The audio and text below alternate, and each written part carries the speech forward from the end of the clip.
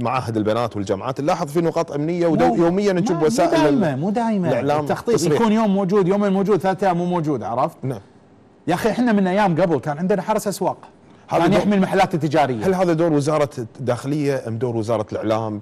إيش عليه بالإعلام؟ ثقافة صارت إيش عليه بالإعلام؟ الإعلام مو لازم تثقف الناس تبين لهم الناس. الخطأ من الصح بس بس أنت اليوم أمام جريمة لما يجي لما يجي يصك الشارع عليك ويعاكس بنية ومن غير رضاها مو جريمة؟ شنو دور الأسرة؟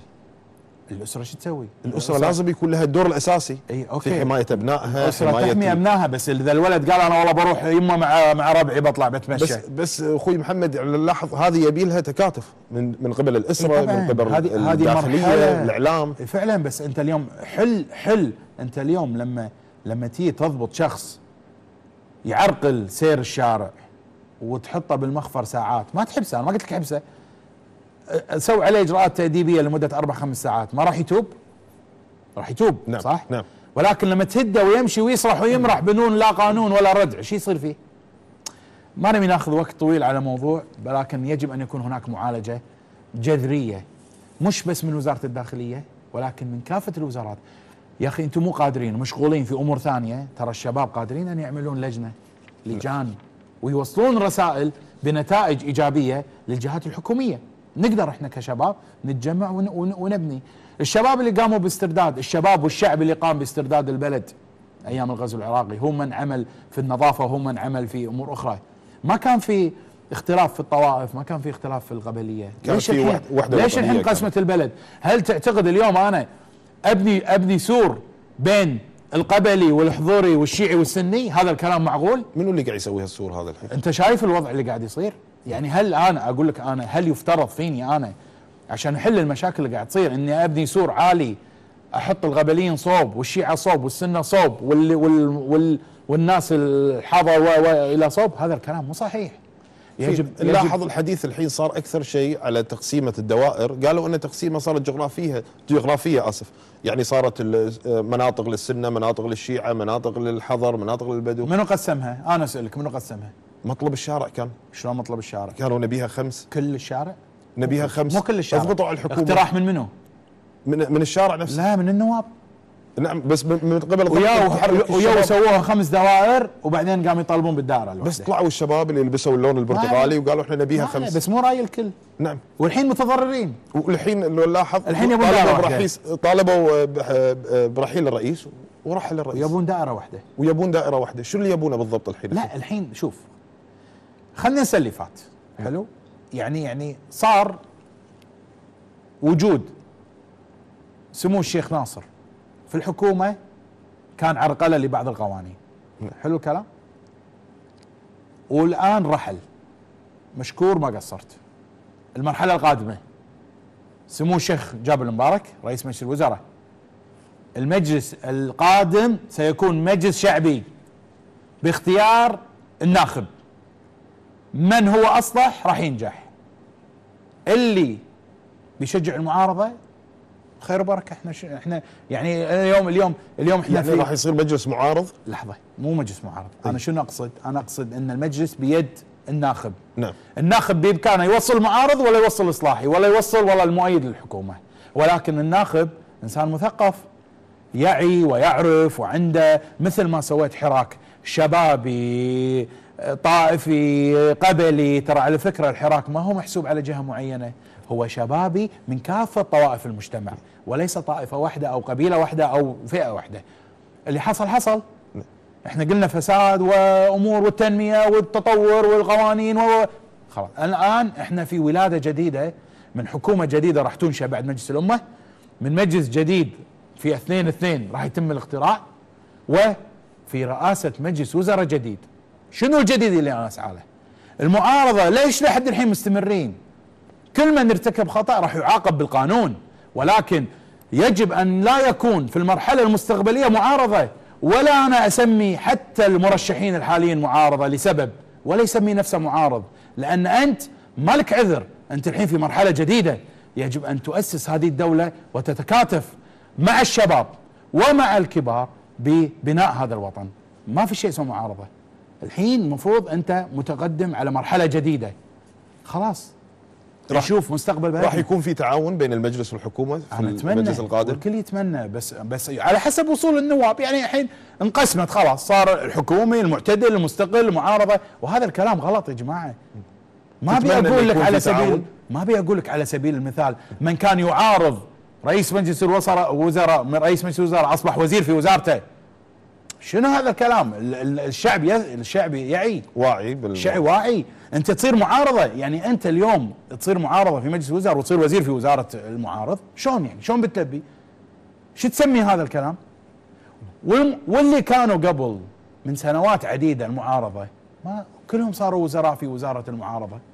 نعم. كلهم صاروا وزراء في وزارة المعارضة. فأنت لا تقول لي معارض. صارت في محاصصة صار يعني اي طبعا. المعارض وزير في وزارة معارضة شلون؟ وين صارت هذه؟ فاليوم لا تقول لي أنا مصلحتي كمواطن أنا يا مواطن كويتي بغض النظر عن ترشيح لمجلس الأمة أنا أطالب.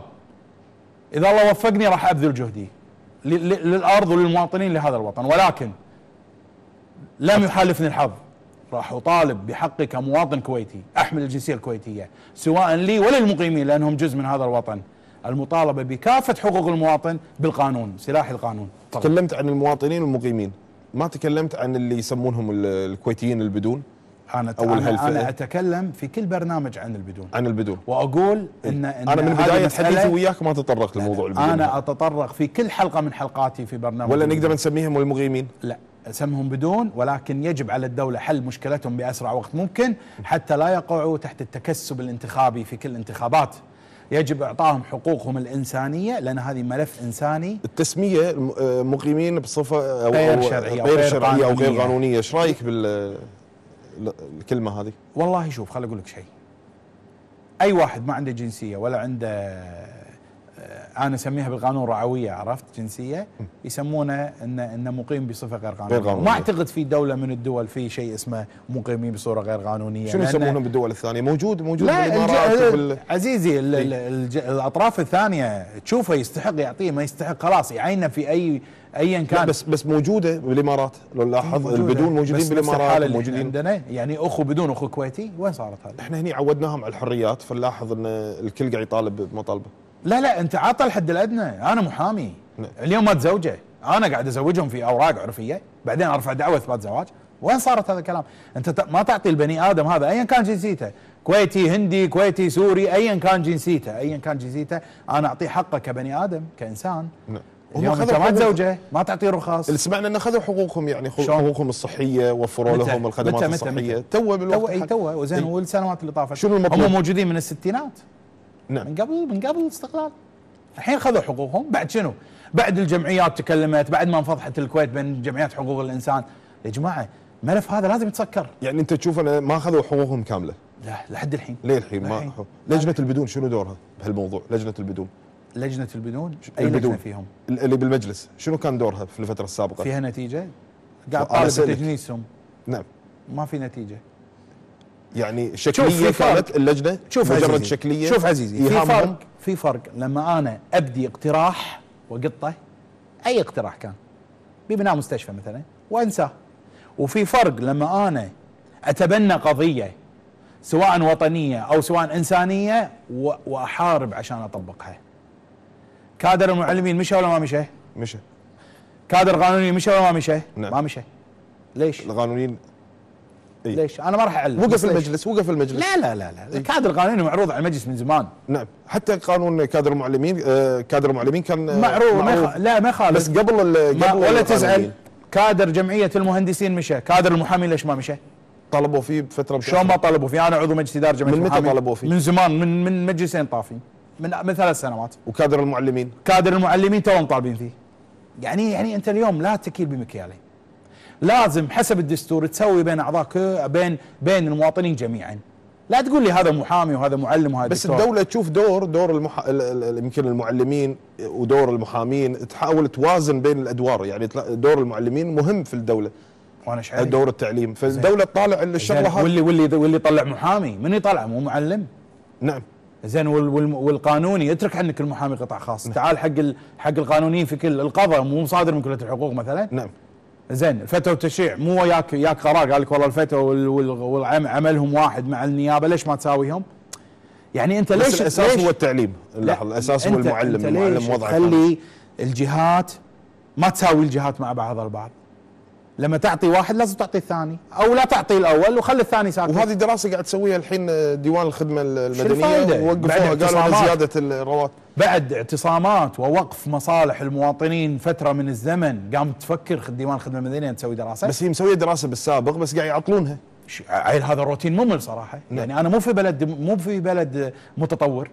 وقالوا إن الزيادة يمكن تكون 30% أو 20% على الراتب الأساسي لجميع المواطنين جميع القطاعات. هذا بنج.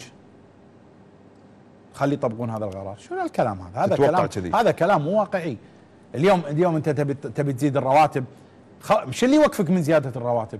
شو اللي يوقفك من من من من انك من إنك تساوي المواطنين في مع بعضهم؟ كم عددك أنت أصلا؟ كم تعداد المواطنين؟ يعني يعني في مشكلة ثانية بعد أحسن يعني اليوم أنا على سبيل المثال أنا ما أدري كم باقي من بكتيريا ما باجي شيء بس أنا بغيت أقول لك إنك تقول كلمتك الأخيرة اي يعني يعني أنا بس أبي أختصر في موضوع إيه. السكن. يعني أنا كمواطن أنا عندي موضوعين لازم أطرحهم نعم. موضوع السكن. بعجاله نعم. موضوع السكن أنا مو ملزوم أنطر 15 سنة يا أخي الدولة غنية نعم. عندها أراضي شاسعة تسوي بنية تحتية وتبني لي مجم... تبني لي سكن مو والمو... والموضوع الثاني موضوع ثاني بناء جسور يعني اليوم يفترض أني أنا أعرض مناقصة لشركات أجنبية. أترك عنك الشركات الكويتية. جسور شنو؟ جسور للسيارات. الشركات الأجنبية ما تحتاج منك دينار. هي هي عطها BOT 15 سنة وافرض رسوم على مرور هذا الجسر والشركة ملزمة بأن تعين 60% من القطاع الكويتي. راح تستفيد من التعيين وتخلص مشكلة البطالة ويكون عندك وسائل حديثة في في في الطرق. فهذا هذا إحنا نحتاج مجموعة تخطط لهذه البلد. نعم. مو تعرقل وت وت وت وتعارض وإلى آخره. أستاذ محمد كلمتك الأخيرة للناخبين بشكل عام وناخبي الدائرة الثالثة. أنا أتمنى بس من الناخب إنه يختار ويحط الكويت بين عينه. بس بعيدا عن ال... أي شيء كان الطائفية القبلية حتى ال... حتى الأخوية. أنت لما تعطي واحد مو ما يستحق إنك تعطيه قاعد تدمر بلد لأن هذا راح يوصل يمثلك ويوصل صوتك. فأتمنى أتمنى حتى من المعارضة أتمنى أن إحنا نبدأ صفحة جديدة مستقبل مشرق لهذه البلد أن يكون هناك تعاون بين السلطتين حتى نكون متقدمين بين دول الجوار. الله يعطيك العافية أستاذ محمد أحمد طالب المحامي مرشح الدائرة الثالثة وبالتوفيق إن شاء الله. شكرا شكرا. مشاهدينا الكرام ناخذ معاكم هذا الفاصل والسلة الانتخابية مع الزميل محمد العراده وراجعين لكم إن شاء الله.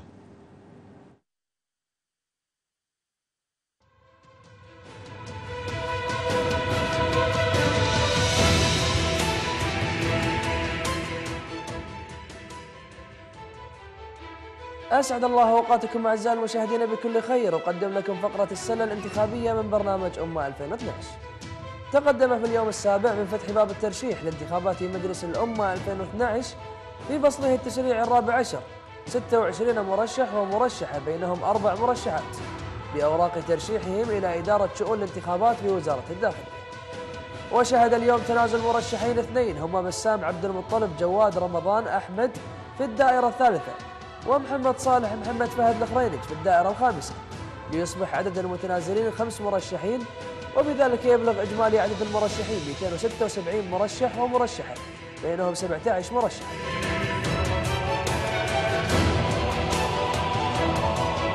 توزع مرشحو اليوم على الدوائر الانتخابية الخمس على النحو التالي. الدائرة الأولى واحد حسن عبد الله أحمد جوهر اثنين عبد الله مجعد فارع مطر سهل المطيري ثلاثة عواطف عبد المجيد خاطر يعقوب عبد الله الماجد. أربعة محمد عبد الأمير أحمد حسن حماد الحداد. خمسة محمد عبد الوهاب عباس خورشيد. ستة محمد مروي ملفي مبارك الهدية الدائرة الثانية واحد عبد الرحمن فهد مشاري العنجري. اثنين عيسى أحمد كرم أحمد. ثلاثة فهد صالح ناصر محمد الخنة. أربعة عبد المجيد برغش إدريس. الدائرة الثالثة. واحد رائد نايف عيد جابر سهيل المطيري اثنين عبد الرحمن حمد عبد الرحمن حمد العوفان ثلاثة فاطمة عبد الرزاق عبد الرحمن الشايجي أربعة محمد عبد الله طامي فرحان المقاطع. خمسة ناصر عبد الرضا حسين غلوم علي غضنفر. ستة نعيمة أحمد عبد الله حاي الحاي الدائرة الرابعة. واحد أحمد نصار مطلق الشريعان اثنين ذكرى عايد عوض بطل رشيد. ثلاثة زيد مزيد جبران الهام.